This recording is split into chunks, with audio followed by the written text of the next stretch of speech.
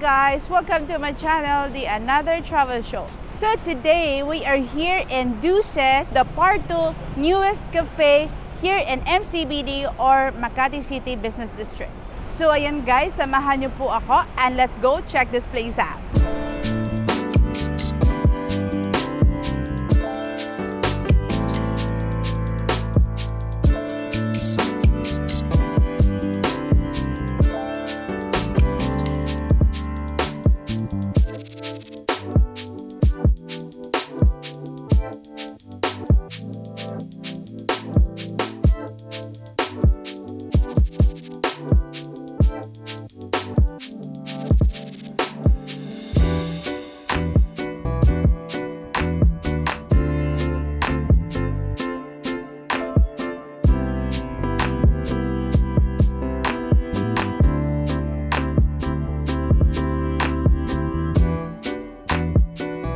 Got here the Hujicha tea.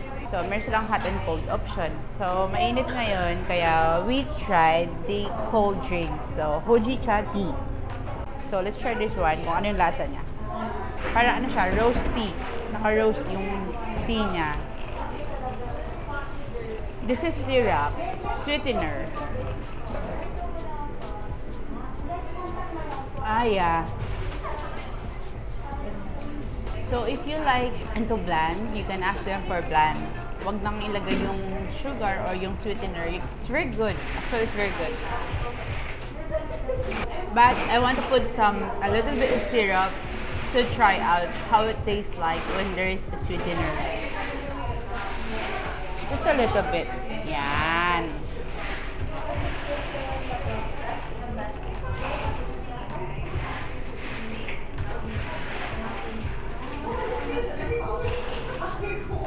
Wow.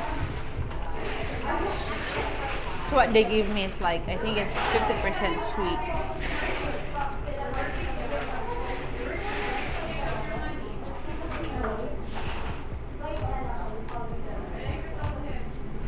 Still yummy.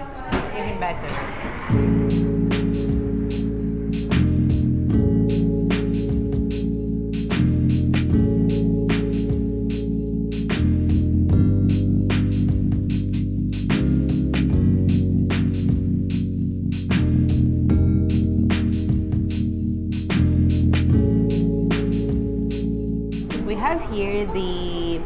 Salmon maki and the pork tonkatsu. So, ayan.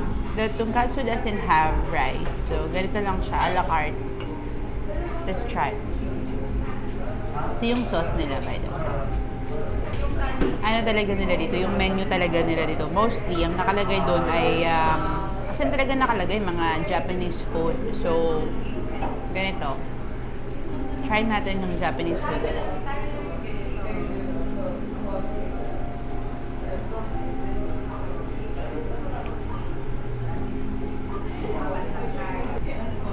Masarap talaga ang tonkatsu pagka uh, freshly cooked kasi crispy pa siya.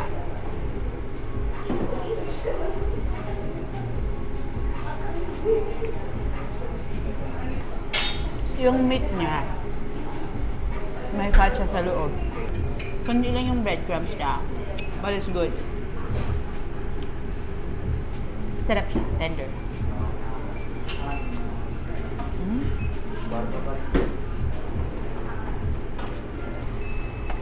Wow. So this is um, salmon maki. Oh, look at that. This is how you're supposed to eat it.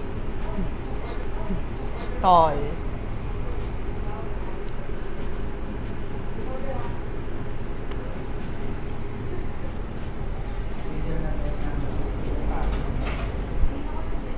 I can taste the um, scallion.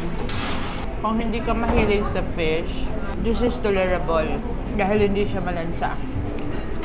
You can taste the, ano, the scallion. So, nawala talaga lahat ng lansa. Creamy siya. A little bit spicy. Ayan. And may sesame seeds. Black sesame seeds.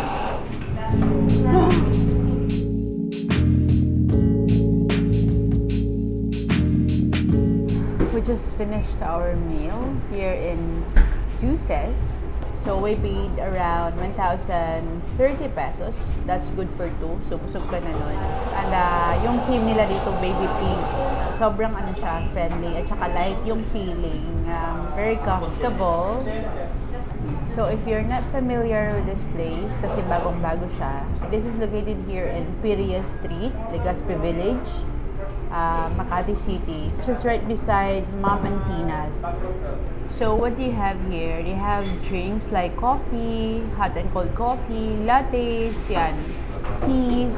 As for their food, meron sila mga salad, curry, um, mga makis, sashimi, sushis, and a lot more. And uh, somehow it's um, affordable. So tama lang siya dun sa ano uh, price range dito sa Makati, especially here in Legazpi Village. They also have the al fresco. Meron lang silang cover ng umbrella. This is since it's the newest one of the newest cafe here in Makati. You may want to try this one, try this out, and uh, experience, try their drinks, their food. Good.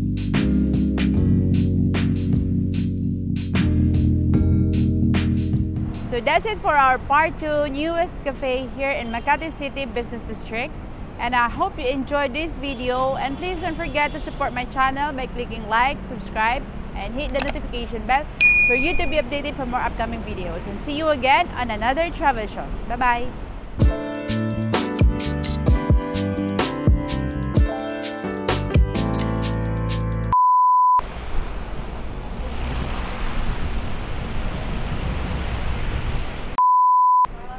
Siya, baby pink ba? Yung motif, yung ano nila, theme nila dito. It's so cute. And look at the flag. Bright flag. Ganda, may workspace pa sila sa labas. So, yan. Let's go in. Let's go in! Ayan! Surprise! Surprise! Surprise!